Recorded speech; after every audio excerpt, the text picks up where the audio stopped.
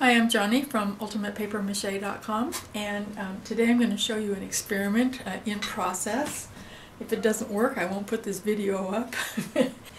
a couple of years ago, I think it was, I told everybody on my blog I'm starting a baby rhino and I got to the point where I had the, the pattern made and the armature kind of going and then I started putting crumpled paper and masking tape on it uh, trying to get the, the folds in the right place and then they would be in the wrong place and I'd move them and I worked on it for probably two or three weeks.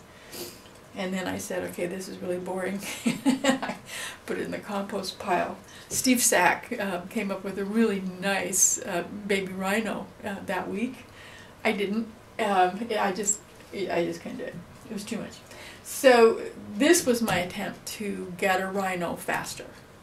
Um, it, clay's just more intuitive. So it goes faster, and because I'm not trying for, you know, um, photo exactness, um, I think this is going to work. And the way I did it, I cobbled together a um, inside armature with some um, foam board that was left over from the people who used to live in the house, and then I just added a bunch of stuff to it, um, basically some um, scrap paper and little pieces of foam and stuff just to fill out enough space so that I didn't have to use too much clay. Then I went ahead and added at least two inches, uh, I'm sorry, at least a half an inch um, of wet clay, just pottery clay, uh, to the form. Um, once the clay was on there and I had uh, the basic shapes, that's all I was looking for, just the basic shapes. Um, I went ahead and covered that with plastic. Um, plastic will stick to wet clay. It doesn't stick to plastic and it doesn't stick to wet plastic, but it will stick to plastic that has some of the clay slip brushed over it. So um, what I did, um, before the plastic went on, I brushed off the clay uh, with a wet brush just to smooth things out a little bit and then I had that slip on the brush so when I had to cut some of the plastic to um, get it to fit uh, and two pieces of plastic had to fold over each other I just brushed that slip on there and, and smoothed it out. So I ended up with a thing that looked kind of like this. Um, and after that I covered it with about six rolls of plaster cloth. This is four inch, I think it's by five yards. Uh, it's a med medical grade plaster cloth that I got from brickintheyard.com. Um, they've got some really good videos on how to use plaster cloth, so if you want to know how to do that, I am not the expert, they know how. Um, go check on YouTube, do a, a, search for their channel, and they've got some fantastic videos out there. Um, after this um, plaster cloth has been cut off and I pull it out and I pull all the clay out of it, I'll put it back together with more plaster cloth just on the on the seams and then I'll cover it with the new air dried clay recipe. Um, so it's not going to be expensive. Hopefully it'll turn out okay. we'll see. I'm just going to mark this to see where I should cut it. I don't have to worry about undercuts because the clay is soft. Okay, moment of truth. We're going to see if I can get this off. It's been um, curing for not very long, probably only an hour, so if I had left it a whole lot longer, probably would be better, but I'm impatient and I want to find out if it works.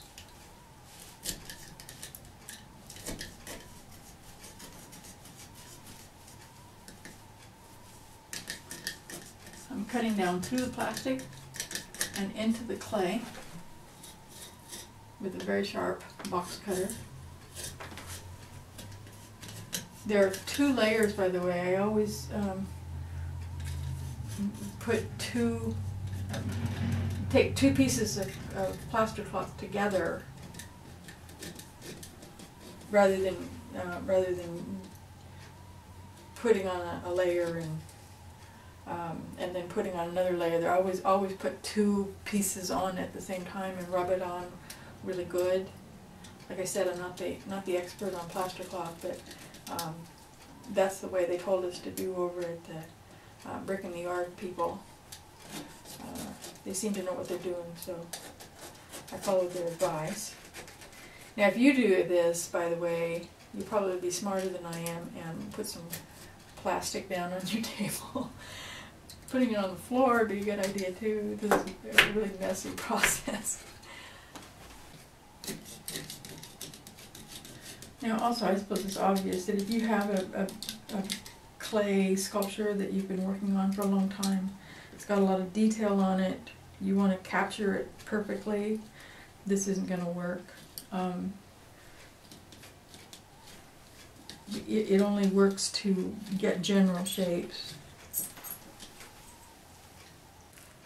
If I ever do this again, I will go back around and reinforce the area where I know I'm going to be making a cut because that's it's a little bit too flimsy. Oops, I missed a spot. Darn. Huh, how did that happen? I have to fix that before I can go any further. I went ahead and, and fixed that spot that was missing a piece. Just had clay showing. And I went ahead and reinforced the edges since I had to wait for that to dry anyway.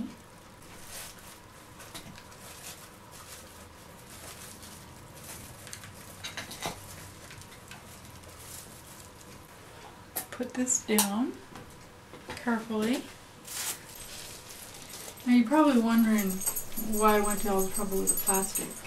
Because it could have just um, sprayed this with some uh, cooking oil or something, use some petroleum jelly. Um, the reason I didn't do that is because I, I don't want plaster in the clay. Uh, wet clay is really cheap. Like this, this is, I don't know, maybe $12 worth of clay. Um, but the gas to go get the clay is not cheap.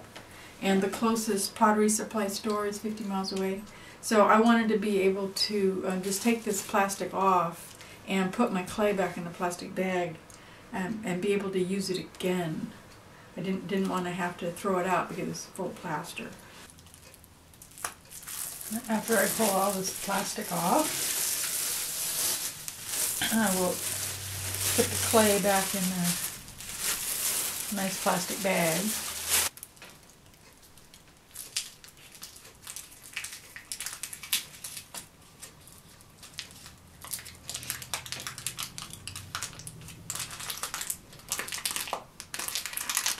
I put aluminum foil over the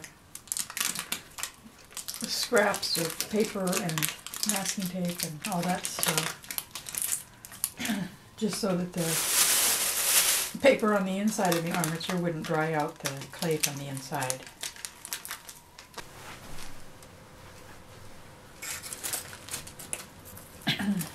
it's about 40 pounds lighter now, so I should be able to pull, let's see how many of these Maybe if I just pull these off.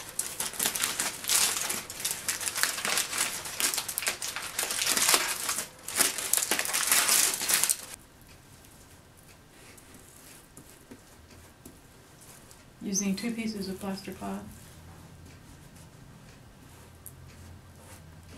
Oops.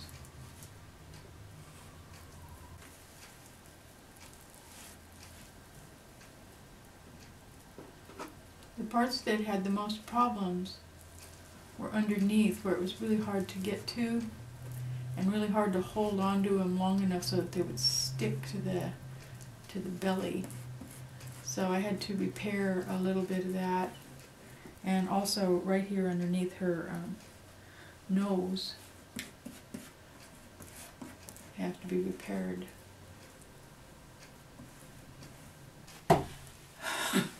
Okay, he's all put back together. I used, um, I think, three or four more rolls of the plaster cloth. So altogether there's eight uh, rolls of plaster cloth in this um, medical grade plaster cloth, so it's really strong.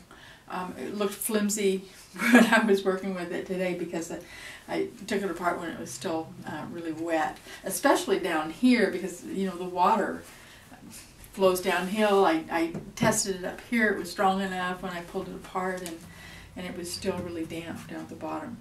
Uh, but he's all put together now, hollow, weighs what, maybe three or four pounds. I was thinking about filling it with uh, expanding foam. I was actually going to do that today. I know I have some in the house. It's down in the basement someplace. I don't know where it is. I can't find it. Um, but he's feeling really solid now because he's been reinforced on, on all those um, uh, cut lines. And I'm thinking he may not need it. I know that the, the new air dry clay recipe works really good over plaster cloth because that's how I'm making my doll heads.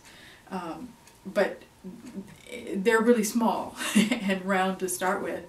Um, you can drop them on the floor and they don't break. Obviously, you don't need to drop a rhino on the floor, and, and sculptures don't have to be unbreakable, but you still.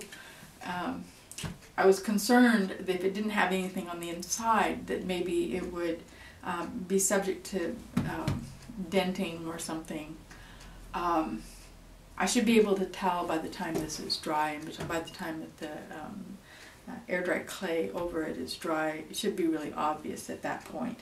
And if at that point it still looks like it needs uh, reinforcing from the inside, I'll go ahead and put in some um, expanding foam. You could, if you wanted to take the time to let it dry, uh, you obviously could use um, just paper mache over the clay. A lot of people have done that and it works just fine. I was in a hurry. I wanted something now. So um, anyway, that's enough for today. Hope you come and visit me. Um, I'm at ultimatepapermache.com. Bye-bye.